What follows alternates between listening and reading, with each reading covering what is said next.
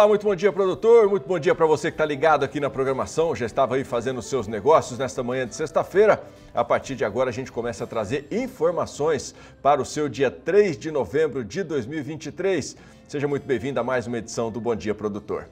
E a gente começa, claro, abrindo janelas pelo Brasil, trazendo informações sobre o tempo, sobre a previsão em algumas regiões do Brasil. Você tem comigo agora imagens ao vivo de Salvador, capital baiana, que nesse momento tem aí um céu mais carrancudo, muitas nuvens, mas a temperatura neste momento já está em torno dos 28 graus.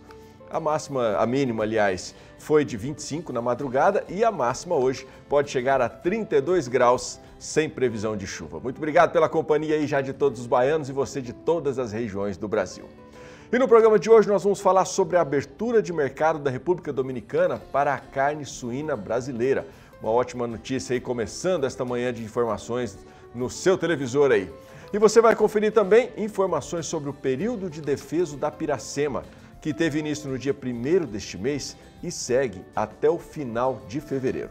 Nessa época fica proibida a pesca de determinadas espécies de peixes em rios e lagos. E a bancada ruralista no Congresso se prepara para derrubar os vetos do presidente Lula ao projeto de lei do Marco Temporal das Terras Indígenas. O assunto volta a ser discutido no Congresso nesse dia 9 de novembro. E sobre esse assunto eu converso daqui a pouco com o advogado e professor do Instituto Brasileiro de Direito do Agronegócio, o Francisco de Godoy Bueno. E para você que já acompanhou os detalhes do De Olho na Fazenda do Pecuária BR, tem mais oportunidade de negócio esperando você aqui na nossa programação. Destaco aí o 21º leilão Fazenda Samambaia e Fazenda Sara, que traz oferta de 160 fêmeas Nelore pintado de vermelho e preto, como você está vendo aí, essa é pintada de vermelho, mas tem pintada também de preto. Muita qualidade. Será neste sábado a partir da uma hora da tarde, com realização da Conect Leilões e a transmissão será pelo Agro Canal. Todos os detalhes e muito mais a partir de agora no Bom Dia Produtor.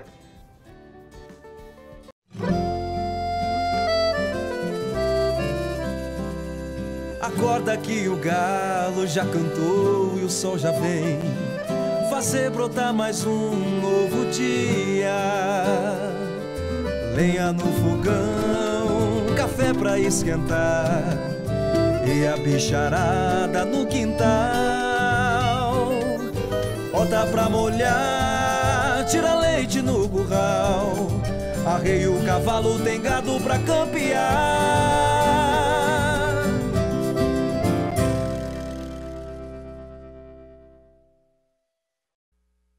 8 horas 21 minutos. A partir de agora você vai ficar com as informações do Bom Dia Produtor. Eu quero começar, claro, fazendo aquele clássico convite para você participar com a gente pelo 67992647810. E lembrando que se você porventura vai precisar sair da televisão, leva a gente com você. Estamos ao vivo pelo portal sba1.com e também pela página do canal do Boi lá no Facebook.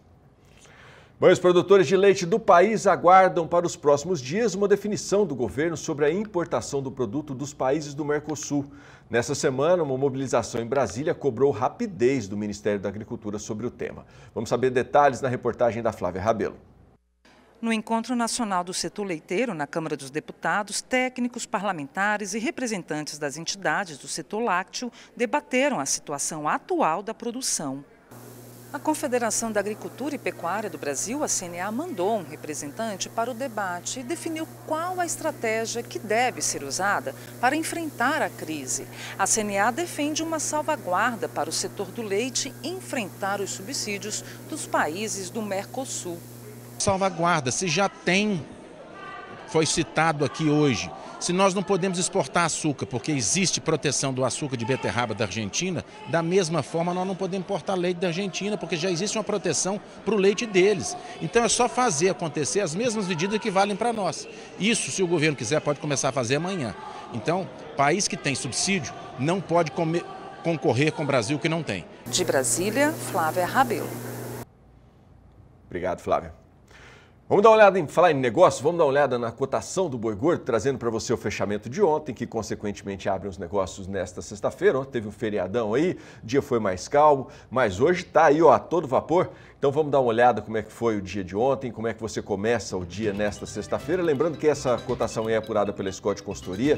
São preços para uma boiada comum à vista livre de furo rural e está na tela já os preços mínimos da região sudeste.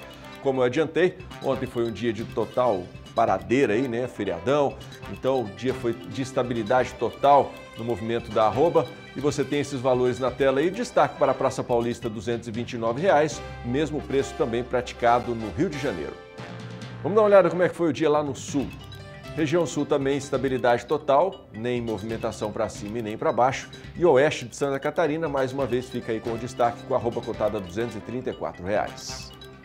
Chegando aqui para o lado do centro-oeste, tivemos é, estabilidade também em Goiás e Mato Grosso do Sul.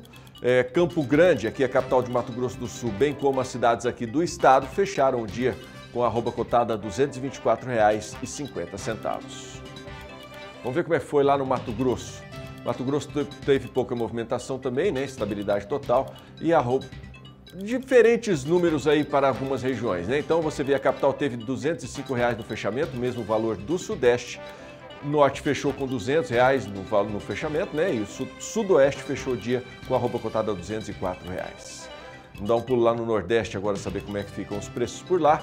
Tivemos movimentação para baixo no fechamento de ontem lá no oeste do Maranhão queda de R$ 5,00 no valor da arroba. Por lá o dia fechou com a arroba cotada a R$ 214,50, mas em Alagoas o dia terminou com a arroba cotada a R$ 239. Reais. Fechamos nosso giro pela região norte. Região norte teve movimentação ontem também para baixo. Queda de R$ 2,00 no valor da arroba lá em Redenção, no Pará. Apenas essa movimentação. O destaque fica aí para Paragominas, também no Pará, que fechou o dia com a arroba cotada a R$ 224,50. Bom, está em vigor desde o início deste mês o período de defesa da piracema. Até o final do mês de fevereiro fica proibida a pesca de determinadas espécies de peixes em rios e lagos do país. Vamos saber os detalhes da piracema em São Paulo com a participação do Gustavo D'Angelo. Em 1 de novembro, teve início o defeso da Piracema em duas bacias hidrográficas aqui do estado de São Paulo, a do Rio Paraná e a do Atlântico Sudeste. Durante o período, a legislação estabelece algumas restrições para a pesca para assegurar a reprodução dos peixes e proteger a fauna aquática. No vídeo a seguir, você vai ver o que é proibido e o que é permitido durante o defeso da Piracema. Vamos ver. Durante o período de defeso, a pesca de espécies não nativas, também chamadas alóctones e exóticas, tais como a corvina de água doce, tucunarés, porquinhos, oiudos, pacucedê, apaiaris, essas são alóctones, ou seja, oriundas de outras bacias hidrográficas brasileiras. É, e as exóticas são como tilápias, bagre africano, híbridos e camarão gigante da Malásia. Todos esses são permitidos no período do fechamento da pesca, no período de defeso, porque elas não são espécies das nossas bacias. Portanto, elas podem ser pescadas, mas que o pescador é, não pode estar embarcado. Ele pode utilizar equipamentos como linha de mão, caniço, vara como molinete ou carretilha. No entanto, nesses casos, as regras específicas sobre a quantidade de peixe que pode ser capturado, como por exemplo, a cota de captura para pescadores amadores e esportivos é de 10 quilos mais um exemplar, enquanto que não há limitação para os pescadores profissionais. Quem descumprir as normas pode responder por crime ambiental e também pagar multa. De Aracatuba, São Paulo, Gustavo D'Angelo. É questão de consciência ambiental, né? Respeitar esse período de Piracema faz toda a diferença. Bom, e tem notícias boas para, também para o mercado suíno. A República Dominicana anunciou nesta semana a abertura de mercado para a carne suína do Brasil. O presidente da Associação Brasileira de Proteína Animal, Ricardo Santin, comemorou a decisão. Entre os diversos desafios enfrentados pelos suinocultores, o cuidado com a saúde intestinal dos animais é um fator chave para a produtividade. Bom, você viu que teve um contratempo aí, uma diversão da apresentação dos VTs. A gente vai corrigir aqui para trazer a informação certa para você, trazer a entrevista com o Ricardo Santin. E enquanto isso, a gente segue com o Bom Dia Produtor, destacando oportunidades de bons negócios. Final de semana está aí e domingo às 14 horas pelo Agro Canal, você vai conferir o leilão virtual EP Fazendas Reunidas. São 3.500 animais em oferta para cria, recria e engorda. Esse evento é realizado pela Ricardo Nicolau Leilões e tem convite.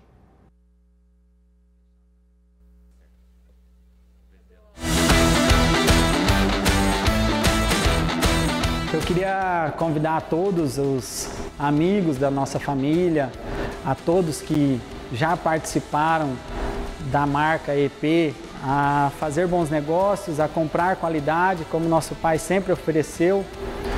O gado do leilão vai ser todo um gado de cria nosso, das matrizes da EP. Vamos disponibilizar qualidade, com volume de gado, com carinho e com muito amor e dedicação, que foi o que nosso pai ensinou a fazer e a gente está dando continuidade.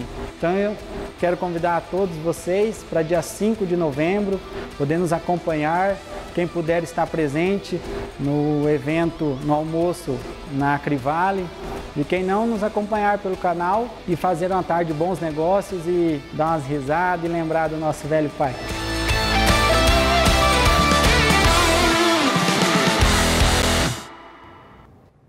Tá aí, então. Só qualquer dúvida, né? Se quiser saber mais informações sobre a nossa agenda deste final de semana, tá lá no portal sba1.com. Agora sim, vamos ver a comemoração do presidente da Associação Brasileira de Proteína Animal, Ricardo Santin, em relação aos, às boas notícias para a carne suína brasileira. A BPA celebra o anúncio feito pela República Dominicana da habilitação de novas plantas de carne suína para exportar para aquele país. Essa é uma decisão muito positiva, porque amplia o número de empresas que podem exportar para lá. Já havia empresas reconhecidas do estado do Rio Grande do Sul e Santa Catarina, e agora também inclui empresas do Paraná, além desses outros estados já citados. Há também um fato que é o reconhecimento do estado do Paraná e do Rio Grande do Sul como livres de febre aftosa sem vacinação, um status que já havia sido declarado para a carne suína pela antiga OIE já há bastante tempo e agora começa a ter efeitos comerciais, fazendo com que Rio Grande do Sul e Paraná também possam acessar mercados que antes eram só acessados por Santa Catarina. Por isso a gente tem que celebrar, festejar essa notícia que é muito positiva, agradecer ao ministro Carlos Fávaro, suas equipes técnicas que possibilitaram, em negociações positivas, ter uma ampliação do número de várias plantas, mais de 30 plantas agora foram habilitadas nessa leva, fazendo com que o Brasil seja mais uma alternativa para a República Dominicana um país que produz 40 e poucas mil toneladas de carne suína, mas consome mais de 160 mil por ano. Isso faz com que haja um espaço para que os produtores brasileiros também possam ser alternativa para aqueles importadores e ajudar na segurança alimentar da Dominicana, ao mesmo tempo em que traz benefícios para a nossa cadeia de produção, para a indústria, distribuição de renda, geração de emprego aqui no Brasil. Sem dúvida nenhuma, uma ótima notícia. Eu lembro você de casa aí que lá no portal sba1.com também tem informações sobre este assunto. 8 horas e 32 minutos, hora de intervalo comercial. Aproveite aí para conhecer empresas e serviços parceiros aqui do Sistema Brasileiro do Agronegócio. E logo depois, no próximo bloco, você tem as previsões do tempo com a equipe do Agroclima. Vamos saber como é que fica o final de semana, neste, o, o, as, o tempo e temperatura para este final de semana. Eu volto já.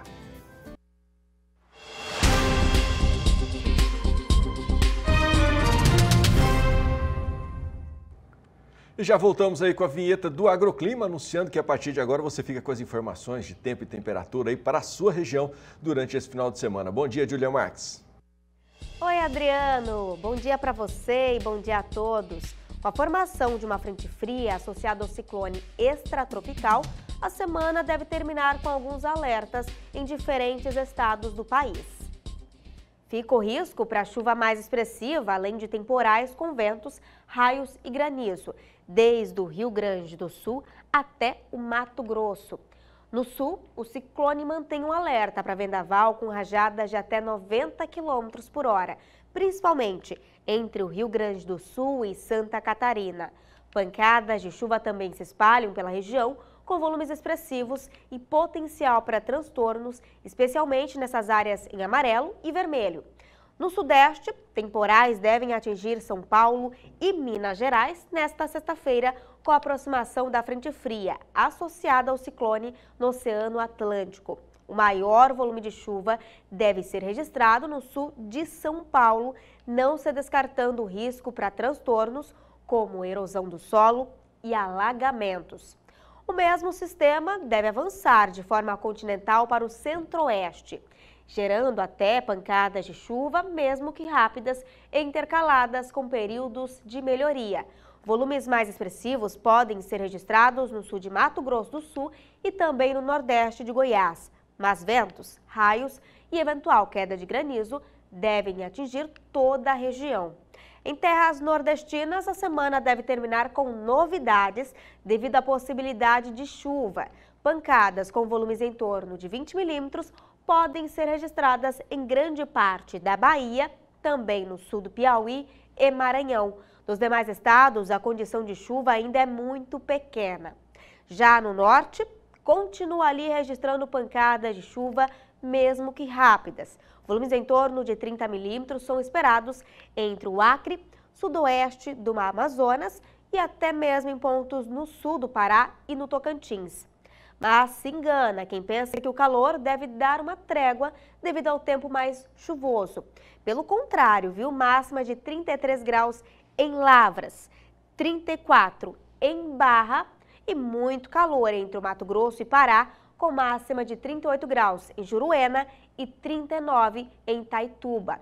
Para o segundo período, entre 8 e 12 de novembro, pancadas de chuva ficarão mais concentradas na região norte, com volumes que podem passar dos 30 milímetros ainda desde Amazonas até o Tocantins. No Brasil Central, o tempo deve ficar mais seco durante essa janela, o que permite também os tratos culturais e o andamento do plantio. Volta a chover de maneira expressiva no oeste gaúcho, com volumes acima dos 50 milímetros, devido à chegada de mais uma frente fria. E agora chegou o momento de conferir quem participa conosco. Está no ar o Você no Agroclima.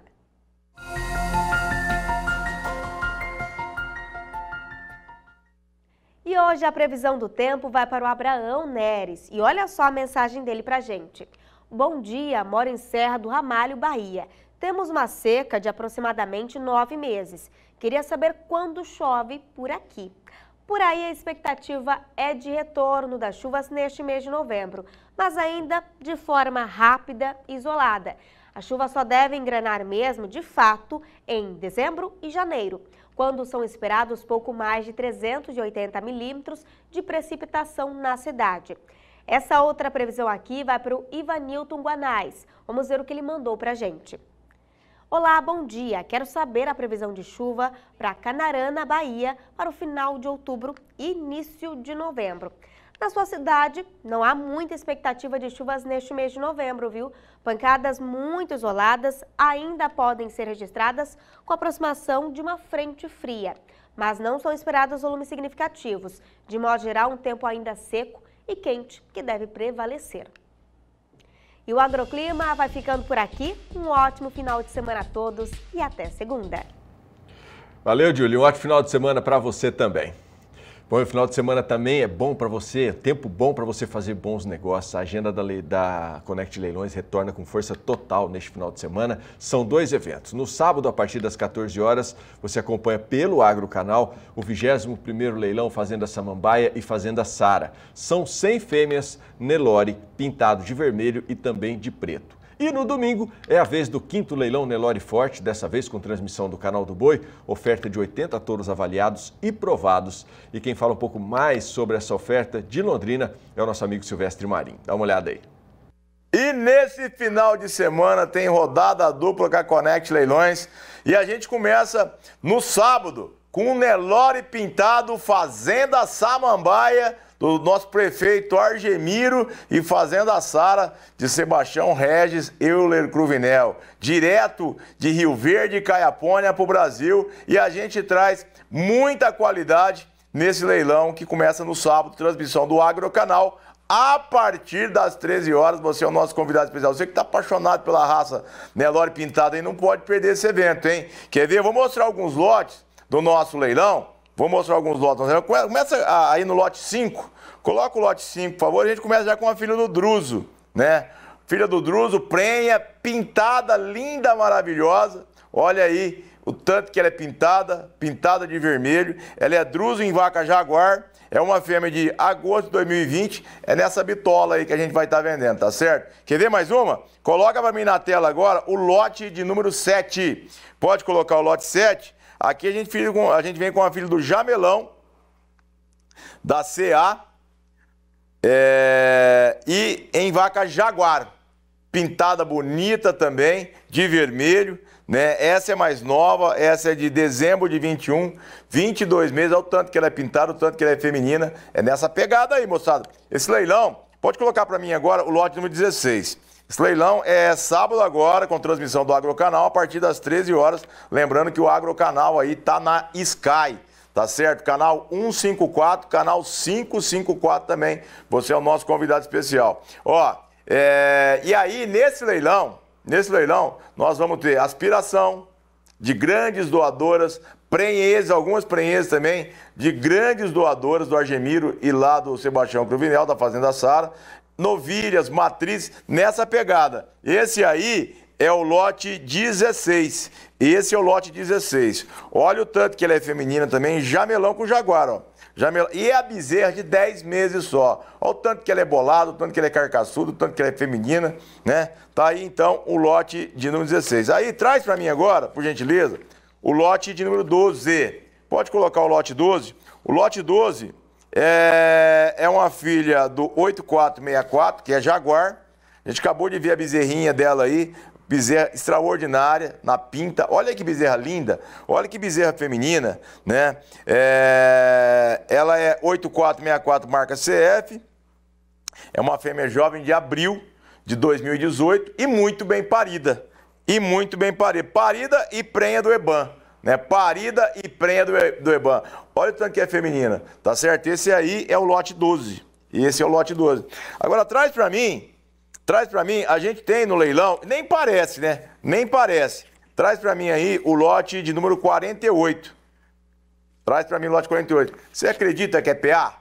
Mas aí é aquele negócio, é PA no papel PO de direito. Olha que fêmea bem bolada, prenha do EBAN, 34 meses, linda, linda, linda, maravilhosa, tanto que é feminina, comprida, né? Uma race muito interessante, PA.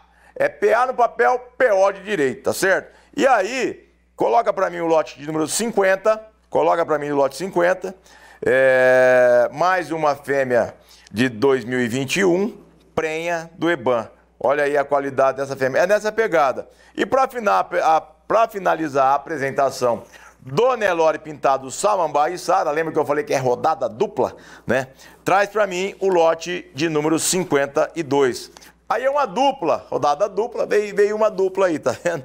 Duas fêmeas PA, e é naquele, na, naquele batidão que eu falei para vocês, PA no papel PO direito, né? Bem pintada, muito harmônica as duas, né? Assessoria do nosso amigo, ó, Mamed Assessoria, de Velasco Assessoria, Marcelo Correia, Nelore Pintado Assessoria e também a gente tem a Carvalho Assessoria no nosso leilão, tá certo? Então, leilão esse que vai ser realizado, anota na sua agenda para não perder, em sábado agora, dia 4, às 13 horas, transmissão do Agrocanal. E é lógico, você que não tem Agrocanal, você que não está na Sky, a Sky é no canal 154 e no 554. Você que não tem Sky, você pode acompanhar pelo YouTube da, da Connect Leilões e também pelo aplicativo.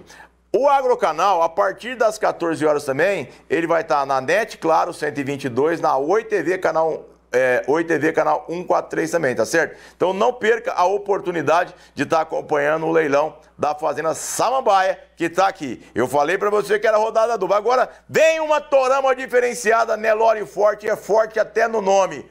Meus amigos Luciano Delecave, Toninho Ked, traz para você, ali de Minas Gerais, o Triângulo Mineiro, a quinta edição desse leilãozaço. Torama de primeira, transmissão Canal do Boi, a partir das 14 horas, é no domingo agora. Vou começar a mostrar uma torama para você, meus amigos. Coloca na tela aí o lote de número 22. Pode colocar na tela o lote 22. Lote 22, toraço toraço, do nosso amigo é, Nelore Delecave, do Luciano Delecave. É um filho do El Guapo, em vôculo, 43 de bola, 943 quilos. Um bico corrigido, musculatura excelente, né? Linha de dorso impecável, a musculatura no posterior desse garrote, um garrote bonito, um garrote harmônico, né? 27 meses ele tem, DECA 1 com 17,57 de índice. É nessa bitola aí, quer ver? Mais um? Traz para mim aí o lote 26. Enche a tela e traz para mim o filho do Sherlock. 905 quilos, 41 de bola, né? 34 meses, história de dezembro de 2020. Olha a linha de dorso dele. Olha um bico corrigido, olha a virilha baixa, musculatura no posterior, Luciano Delecave.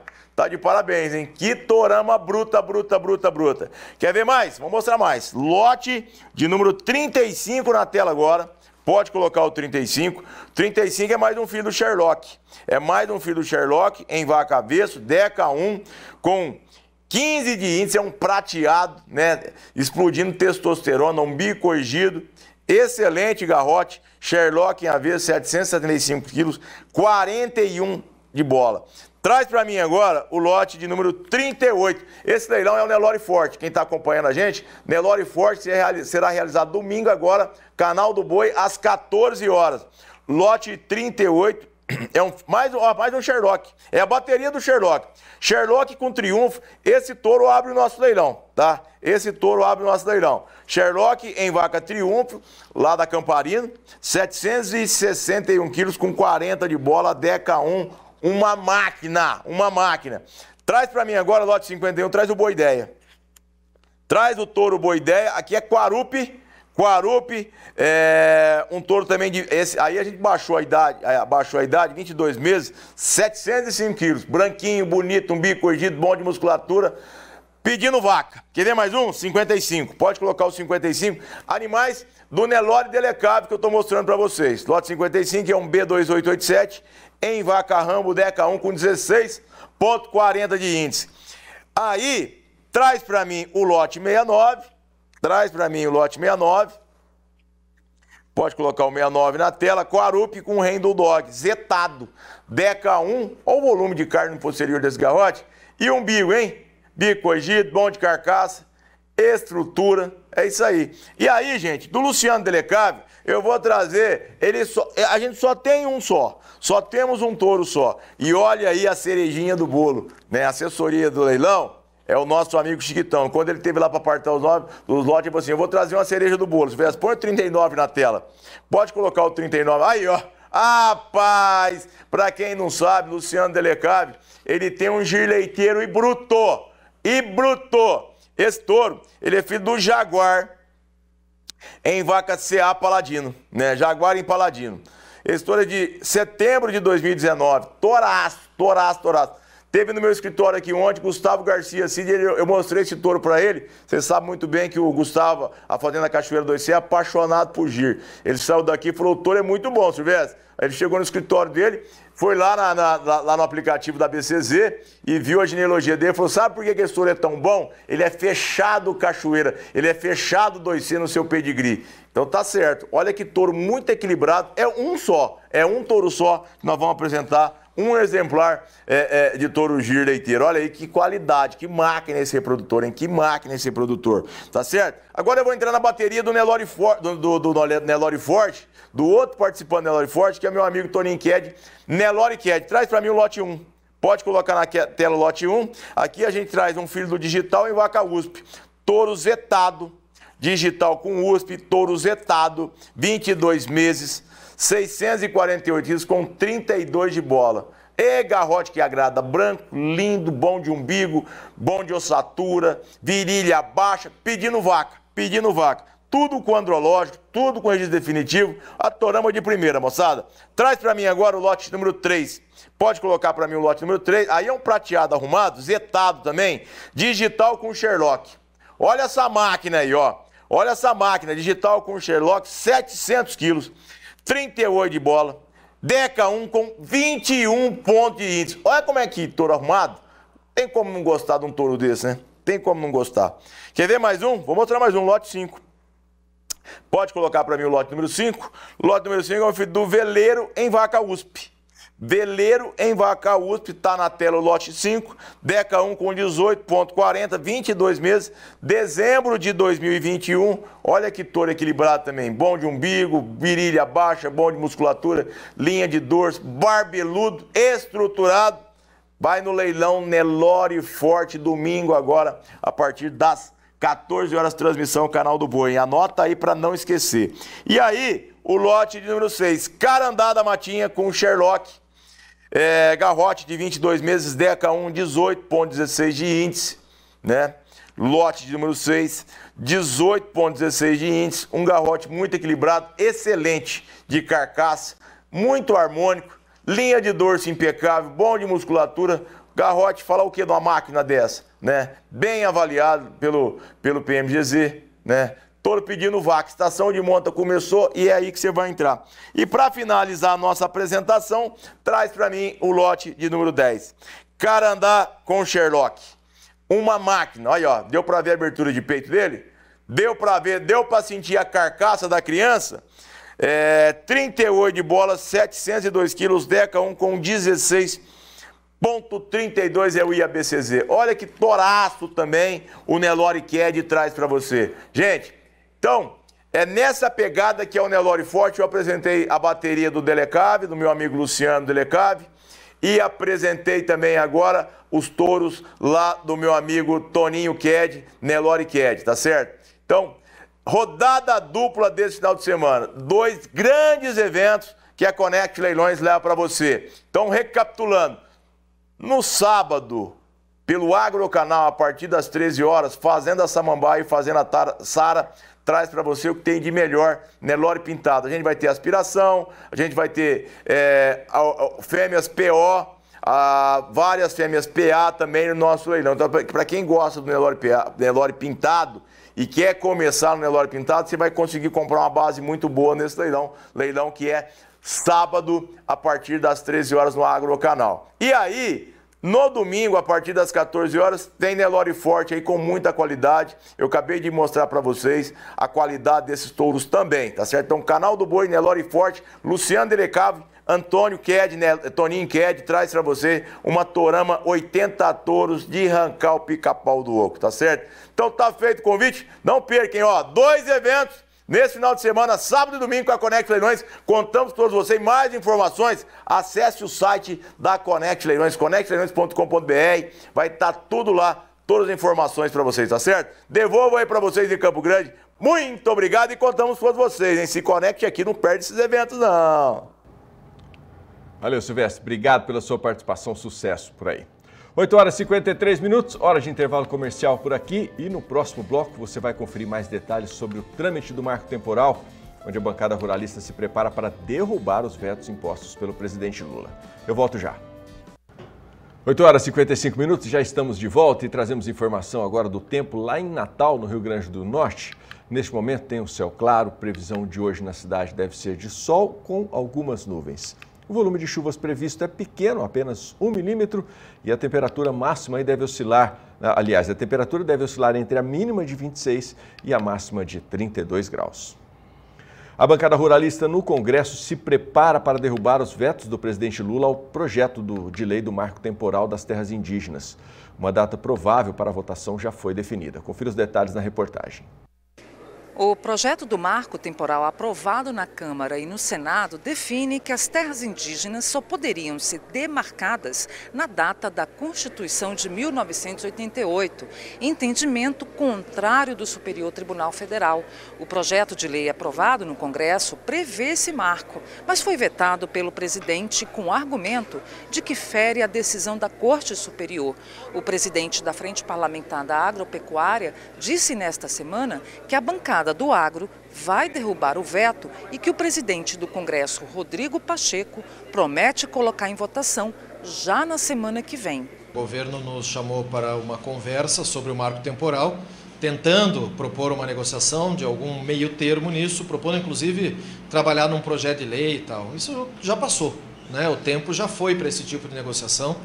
Uh, apresentar um projeto de lei para tratar de marco temporal era só não ter vetado o nosso, que já estava resolvido. É, o governo sabe que nós temos os votos para derrubar o veto e isso que tem gerado preocupação, porque a decisão do STF e o veto ao nosso projeto fez com que o problema caísse no colo do presidente da República, que ele precisa jogar para o público dele a questão das demarcações, não tem dinheiro para fazer as para pagar as indenizações prévias que são exigidas pela decisão do Supremo e a lei aprovada foi vetada. Então não há solução e não há consenso nesse sentido. Fazer uma proposta agora que já foi votada a lei, que nós já ganhamos nas duas casas, que já que já houve veto, que já foi decidido na justiça. Então, eu acho que já passou o tempo disso, nós vamos manter a nossa estratégia. Vamos fazer a votação no dia 9. O compromisso do presidente Rodrigo Pacheco conosco é pautar no dia 9 os vetos. Próxima quinta-feira, lá nós vamos votar e derrubar esses vetos. E, em paralelo, a PEC 48 no Senado e a PEC 132 uh, na Câmara para constitucionalizar o assunto. Uma proposta de emenda constitucional sobre o tema também está tramitando no Senado Federal. De Brasília, Flávia Rabelo. Ainda falando sobre o marco temporal, nós vamos conversar agora pela internet, ao vivo, com o advogado e professor do Instituto Brasileiro de Direito do Agronegócio, o Francisco de Godoy Bueno. Bom dia, Francisco. Prazer recebê-lo aqui no Bom Dia Produtor. Bom dia, um grande, uma grande, grande satisfação nossa do IBDA poder participar do seu programa. É, estamos à disposição da sua audiência. Legal. Bom, o STF considerou inconstitucional o marco temporal, já o Congresso aprovou o projeto que mantém o marco de outubro de 1988 e o presidente Lula vetou parcialmente. Quais vetos estão em desacordo com os interesses da classe produtora rural? Bom, uh, o, o, veto que foi feito foi quase total, né? Acho que os principais pontos que eram objeto da discussão, que era trazer um novo um novo regramento, recuperar aquele regramento que foi estabelecido pelo próprio Supremo Tribunal Federal em julgado, julgamentos anteriores, tudo isso foi vetado. E por isso que eu acho que a Frente Parlamentar, como mostrou a reportagem, é, firmou uma posição muito efetiva no sentido de buscar a derrubada integral desses vetos é, e realmente não tolerar esse, é, essa repactuação do acordo político, ou, ou pelo menos da vontade é, da maioria da população, que é criar regras que estabilizem o conflito no campo. É, a gente está tá mais do que nítido e claro que a gente está vendo nessa questão o que está acontecendo no Brasil, nessa polarização política, virou uma queda de braço aí entre os poderes em Brasília. Qual o tipo de prejuízo que isso traz para todo esse processo? Acho que o principal prejuízo é o prejuízo da segurança, né? Da então, o que, é, o que foi esse processo do marco temporal? Uh, havia grandes conflitos uh, fundiários uh, que se tratavam por, por, essa questão da demarcação de territórios indígenas, especialmente porque havia uma certa cooptação de setores da sociedade, de, de, instituições públicas que tratam da agenda indigenista por setores da sociedade que não respeitam a propriedade privada. É, e, essa, é, e essa cooptação conflitos fundiários.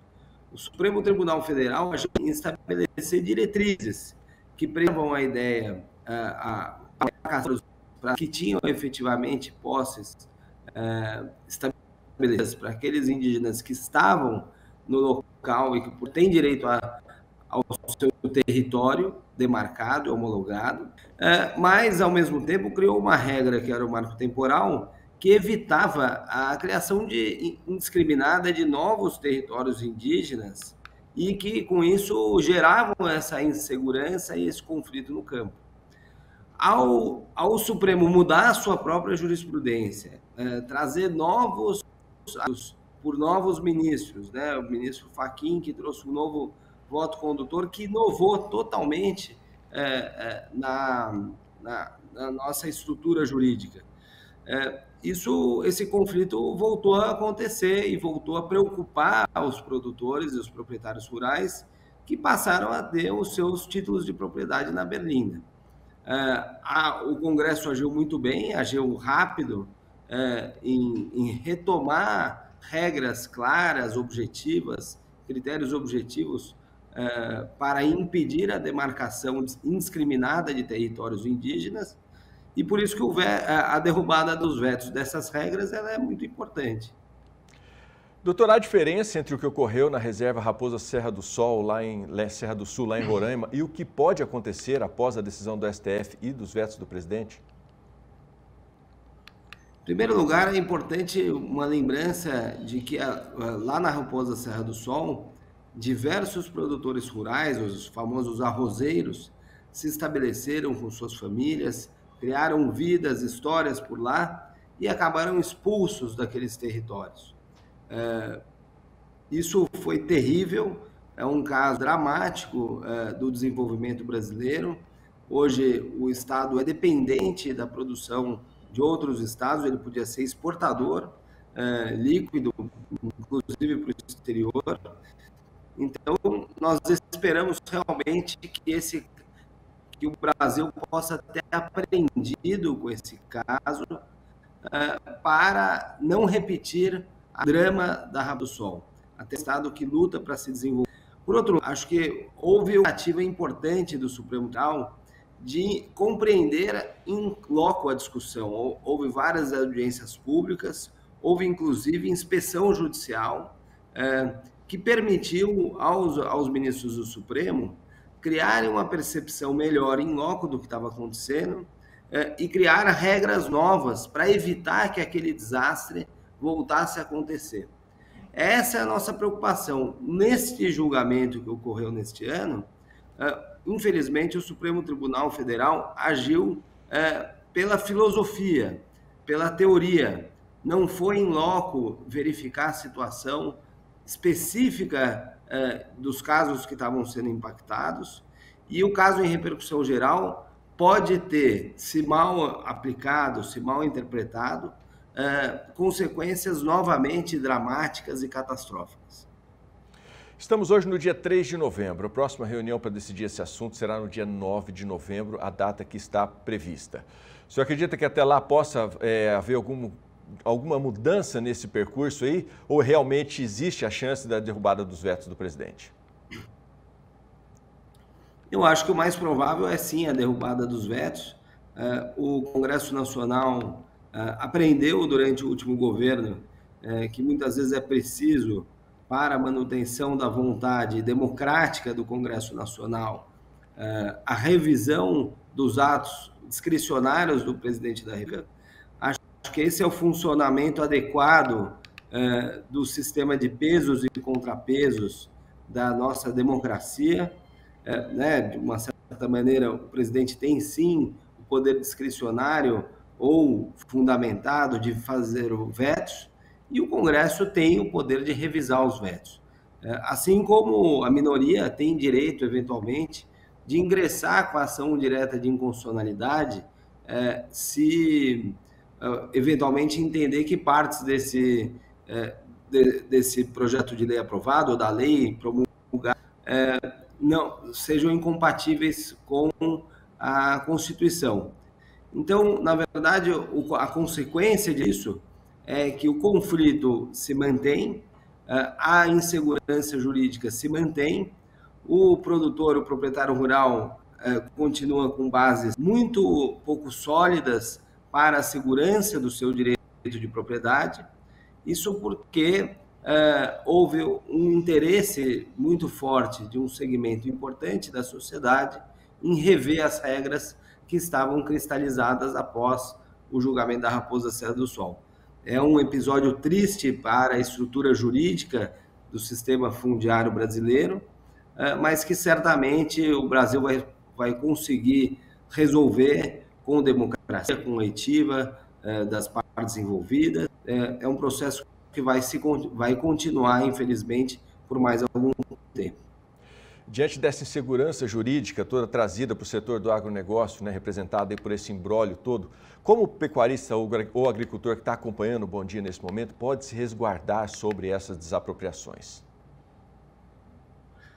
Olha, eu preferia ter uma notícia melhor, né? Que o produtor pudesse se focar uh, na sua atividade fim, que é a produção agropecuária, uh, no cuidado do seu rebanho, agora estamos em época de plantio, plantio, mas o que a gente tem visto é que o sistema institucional tem criado custos de transação importantes para a atividade agropecuária e que por isso o produtor, além de produzir, ele precisa se capacitar para gerir melhor o seu patrimônio, gerenciar riscos na área fundiária, gerenciar riscos na área ambiental, gerar, gerenciar os riscos atinentes ao cumprimento da função social da propriedade, é, porque há, é, o direito de propriedade em si, como aquele poder pleno que se tem pela, é, sobre os imóveis, ele está em xeque e por isso é muito importante que o produtor possa se informar sobre isso,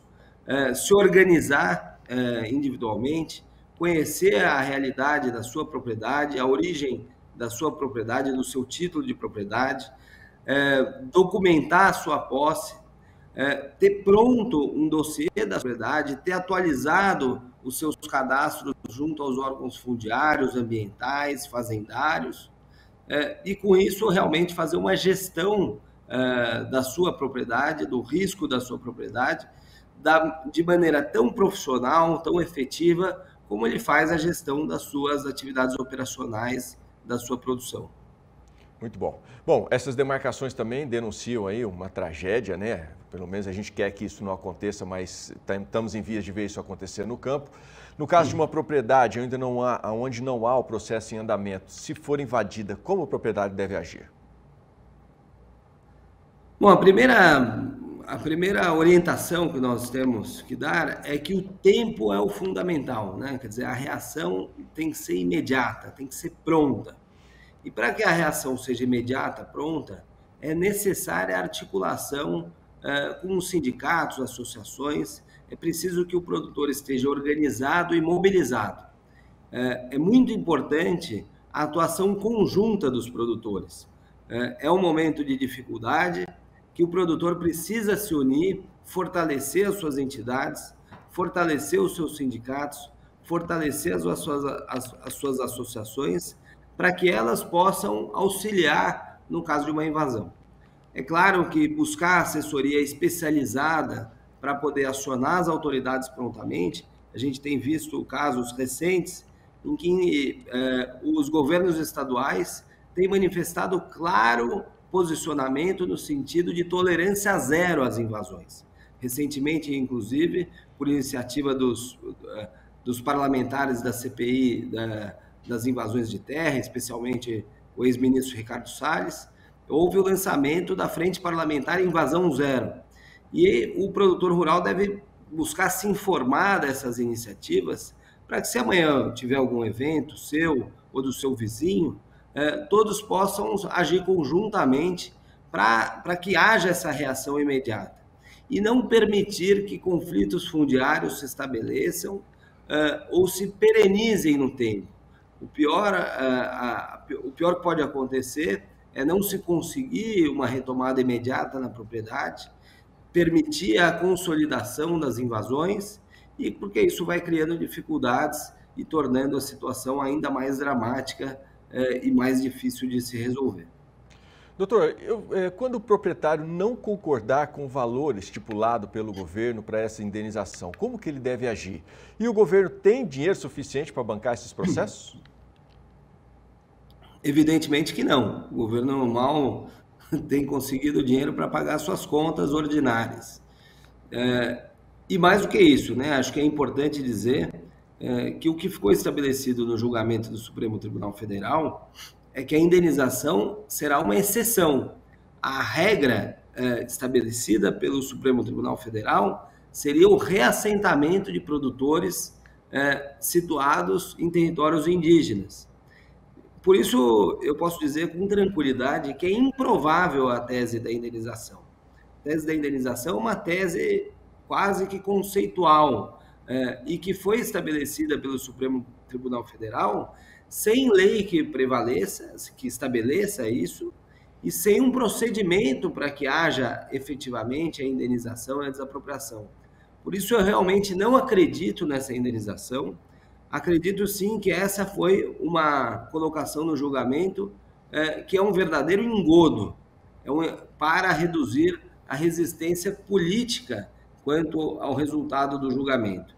É, infelizmente, o que tem acontecido é que proprietários rurais e produtores rurais que são afetados é, pela demarcação de territórios indígenas têm uma dificuldade muito grande para serem reassentados e dificilmente serão indenizados. Doutor, para a gente encerrar então, estamos com um pouquinho de tempo ainda, eu gostaria que o senhor deixasse aí uma mensagem para o telespectador aqui do Bom Dia Produtor em relação a todo esse embrólio.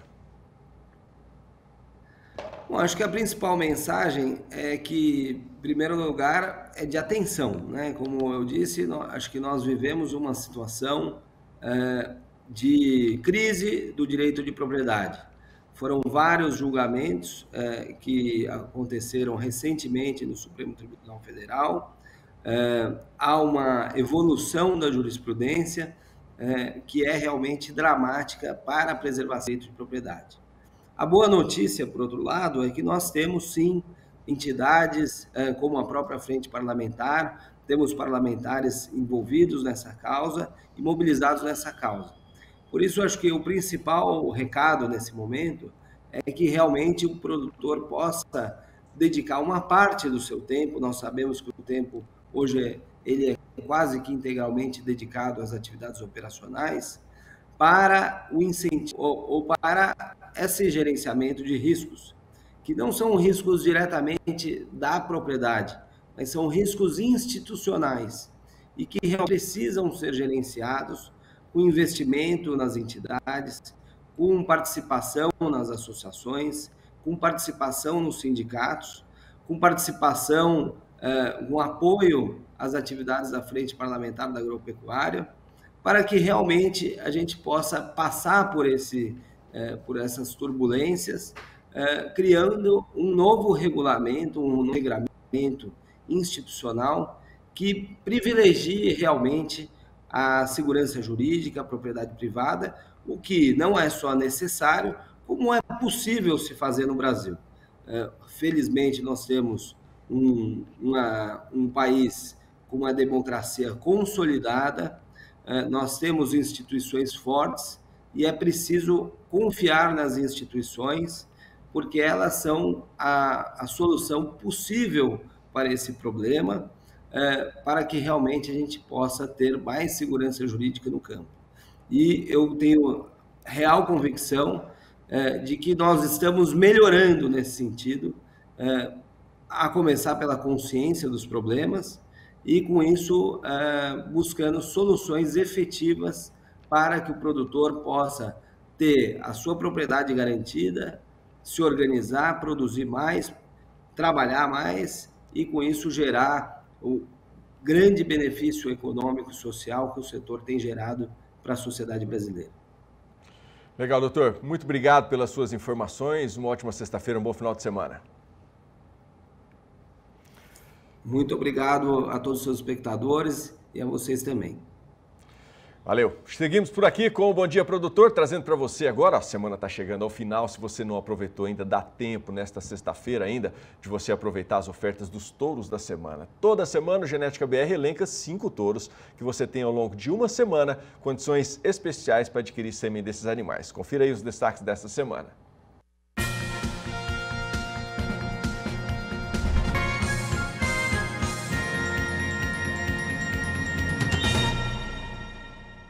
E vamos prestando atenção, meu amigo, porque o Genética BR essa semana traz cinco reprodutores excepcionais que são os touros da semana. Vamos começar com ele, um grande trabalho da Agropecuária Celeiro, Elfo Fib da Celeiro. Dá uma olhada, esse filho do Hassan da Santanice, um touro que vem colocando muito marmoreio, é excepcional esse garrote. Garrote que traz uma produção fantástica para carcaça, para carne de qualidade, Agropecuária Celeiro, Celeiro Carnes. Garapo da São Lucas, olha o segundo touro para você, que espetáculo, hein? Que espetáculo desse criatório excepcional, que é o criatório da São Lucas. Garapo da São Lucas. Vamos para Vera Cruz. Eficiente FVC, Fazenda Vera Cruz. Dá uma olhada a magnitude desse reprodutor.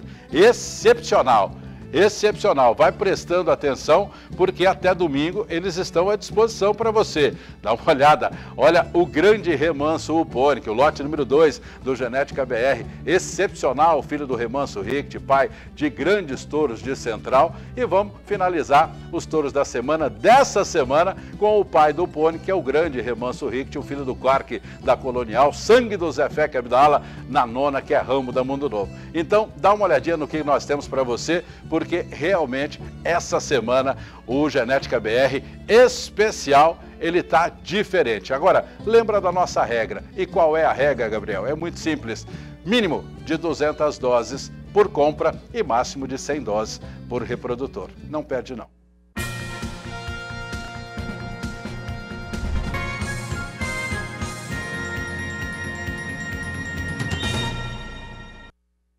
E o mês de novembro começando hoje traz aí uma agenda recheada de grandes oportunidades de negócio para você aqui na nossa programação. Inclusive, destaco que o Canal do Boi transmite no dia 9 de novembro, às 6h15 da tarde, horário de Brasília, o leilão virtual João 600, Fazenda Talita. São 70 touros e 7 novilhas Nelore em oferta. A realização desse evento é da Central Leilões.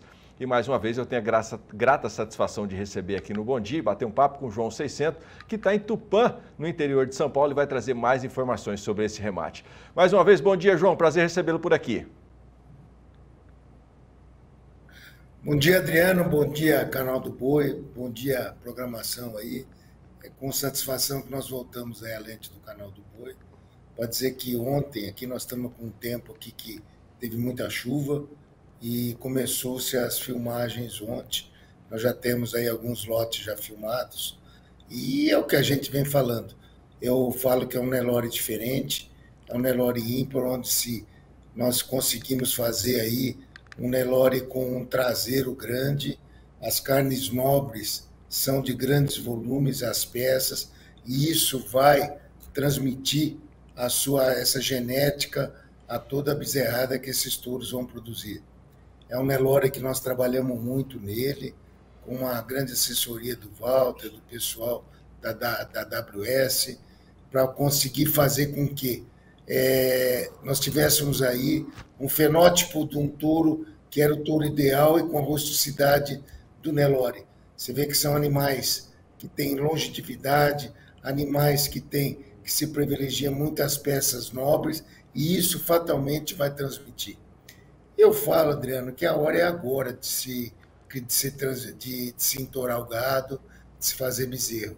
Nós estamos praticamente no fim do ciclo da pecuária, onde é de baixa, e daqui dois anos não vai ter bezerros. Muita gente saiu do segmento, então está na hora de se comprar touro, está na hora de se enxertar as novilhas, está na hora de se procurar uma genética diferente e se fazer um touro de peso e é isso que nós propusemos. E eu quero dizer que quando nós se propusemos a criar o gado, o touro, fazer o touro nosso, para utilizar em nossas fazendas, isso aí nós passamos por um, por um grande período, até chegarmos aí nos animais que hoje é, o mercado quer e que todo fazendeiro, no nosso caso, que a gente utiliza em nossas fazendas, queremos. Você vê se você olhar as imagens aí, você vê a profundidade que esse animal tem. Ele ganha de qualquer europeu, de qualquer na profundidade, o tamanho das peças e o grande volume das peças nobres.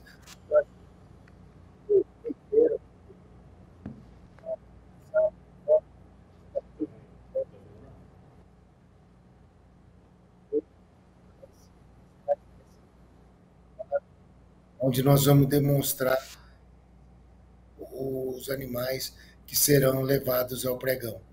E quero dizer ainda o seguinte: no dia 9, o pessoal da região aqui, dada a grande audiência do seu programa e do canal do Boi, o pessoal aqui de toda a região, está ou de longe, mas está convidado para comparecer no dia 9, lá no ponto de encontro nosso na Cachaçaria, aqui em Tupã, onde nós vamos poder visualizar de lá o leilão, participar do leilão e dar lances do leilão.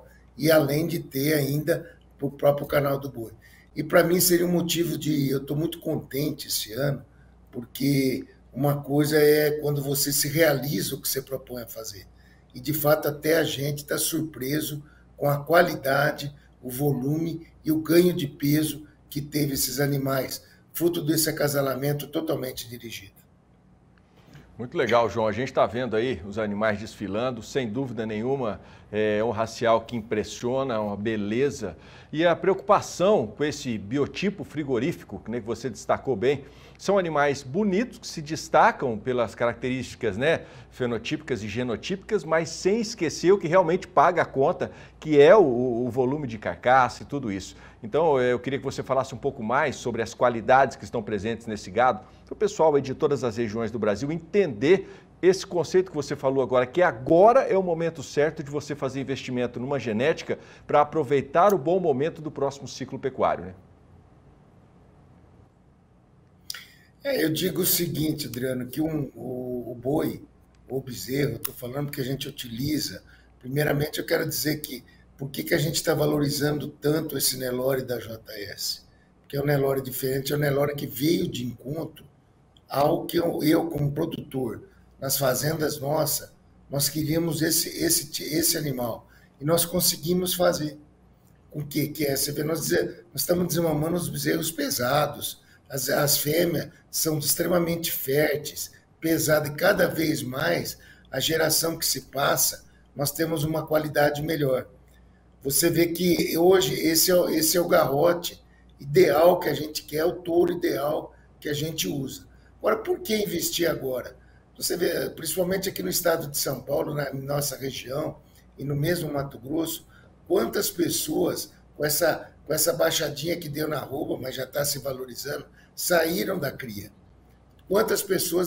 Então, o momento é agora. Não pode a pessoa, quando agora, daqui dois anos, quando o bezerro estiver valorizado, ele voltar, ele perde o time. Ele tem que voltar agora. Agora é a hora de se entorar, agora é a hora de se colocar. Por quê? Porque esse, esse boi vai estar pronto para o frigorífico daqui dois anos e meio. Então nós temos que entorar em 2025, 2024, ano que vem, que já começa a subir grande essa roupa, você vê o que, que vai acontecer. Não vai ter bezerro competente. Então nós vamos chegar, não pode ir sempre na mão. Se você não pegar e se projetar para você conseguir ter um produto na entre safra e quando ninguém tem, é aí que você ganha.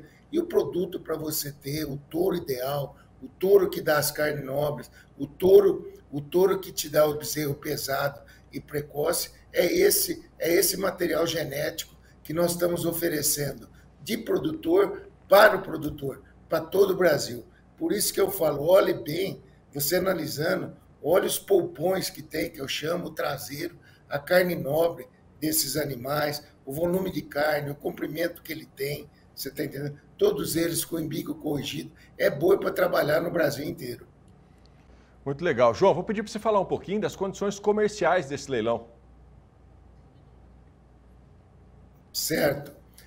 Esse leilão vai ser feito como comumente o mercado já absorve, tem frete grátis, tem frete grátis para todo o Brasil. Hoje nós vamos dar um desconto de 8% à vista, certo? Ou, nas, ou, nas, ou em 30 pagamento. Duas mais duas, mais cinco, cinco dupla e o restante simples. Quer dizer, é uma facilidade para o mercado inteiro adquirir um, um produto dessa natureza. E o que eu peço a todo produtor, a todo amigo meu pecuarista que está ouvindo, não compre 10, compre um touro. Separa um lote de novilhas e coloca, e você vai colher um bezerro diferente. O bezerro de volume de carne, o bezerro precoce e o bezerro que te vai te dar ganho de peso. E todos os teus vizinhos vão estar olhando, uma que bezerrada diferente. Por isso que eu falo que o Nelore JS é um Nelore diferente, é um Nelore todos os meus amigos pecuaristas para participarem e adquirir um produto desse para ter um touro dessa envergadura em sua fazenda. Com isso, você vai ter lucro e você vai ter uma precocidade e uma bezerrada diferente em sua fazenda.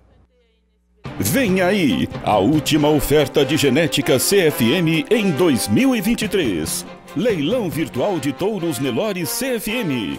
Dia 6 de novembro às 18 horas estarão à venda 250 touros Nelore CFM de alta qualidade genética.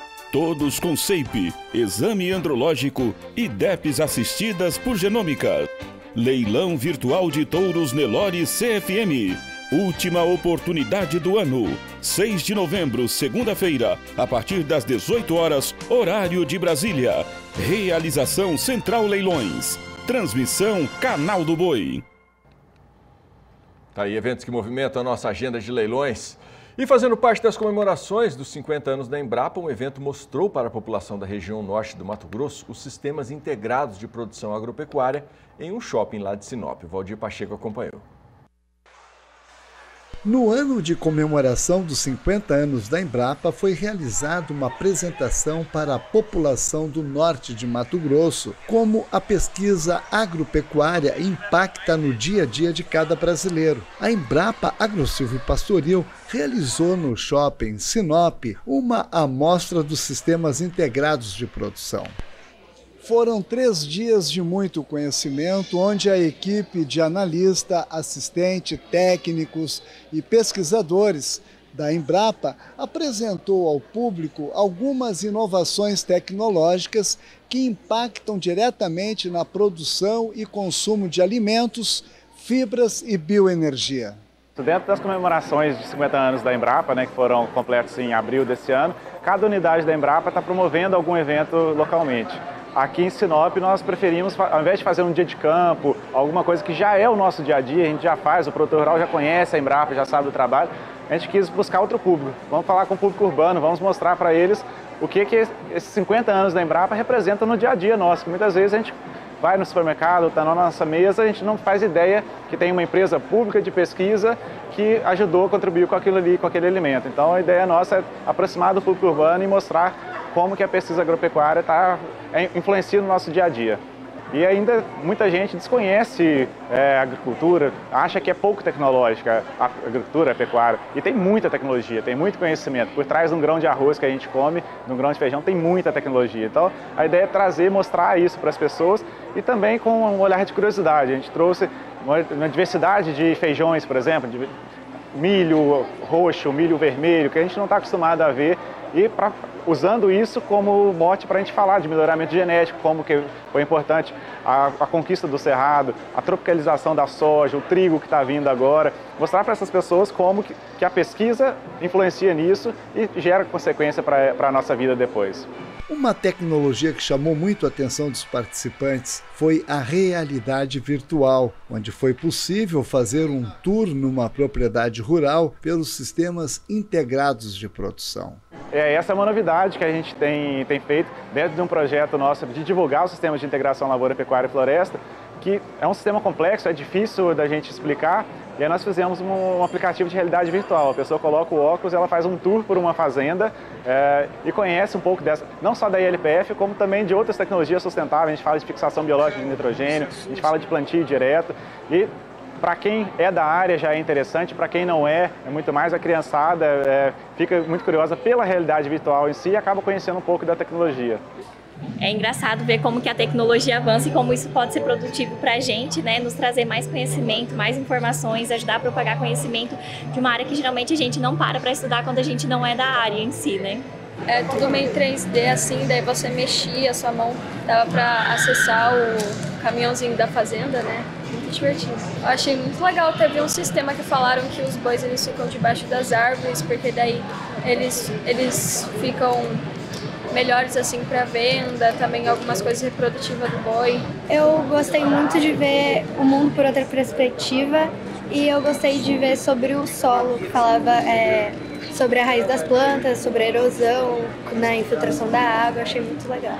Pelo interesse né, que nós observamos aqui, desde crianças menores até pessoas, né, é, pais, avós, pessoas com, de diversas áreas, principalmente fora do agro, né, a gente considera que o interesse pelas tecnologias da Embrapa foi, primeiro, uma surpresa, né, pela quantidade de tecnologias que a gente, às vezes, não, não, não se dá conta que o arroz com feijão tem anos de, de pesquisa e ao mesmo tempo que é essa grandeza, né, que é o nosso, uh, que o agro está próximo, o agro está na nossa dispensa, o agro está no nosso dia a dia, do arroz, na, no feijão, no almoço, no jantar, no café da manhã.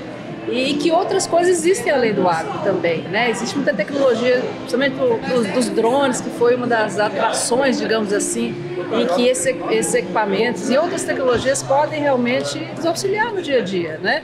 Ou melhor, né? É, vamos dizer, resultar em benefícios no nosso dia a dia.